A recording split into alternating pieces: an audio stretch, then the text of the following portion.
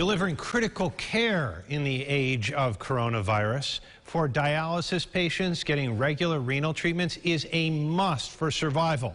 Christian Garzone tells us about one local medical company that is ensuring that their patients are taken care of as well as their staff. Christian joining us now with more on this. Christian.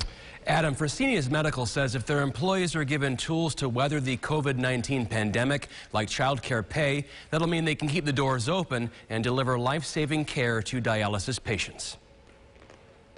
Like many medical facilities in the region, extra precautions for patients like temperature taking and mandatory hand washing before entering is a normal requirement, something they're doing here at Fresenius Medical. COVID-19 is, is demanding our attention right now. Nurse Leah DeWolf says their 850 dialysis patients come in up to three days a week to Fresenius's nine facilities.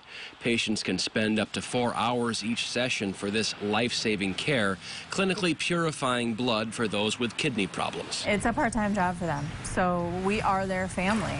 We are their second family. So patient care for us is non-negotiable each and every day. DeWolf says Fresenius leadership knew at an early stage if their employees were not taken care of during this pandemic, they'd have to slow service. You know, the company did a really great job of listening to what our concerns were to make sure that we could still be here uh, for our patients. That includes $500 a week for child care for parents while school is closed and an emergency pay program. It's a trickle-down effect. You know. Kenneth Krein, the director of operations, says taking care of the staff means taking care of the patients. The patients are why we are here. This is why we exist. Of course, this is unforeseen, uncharted territories.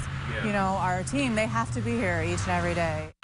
In addition to that facility on Long Pond Road in Greece, they have sites in Newark, Batavia, Webster, Brighton, and other locations. Adam, back to you. Christian, thank you. We have more information on Fresenius Medical Care, and you can find it in this web story over at rochesterfirst.com.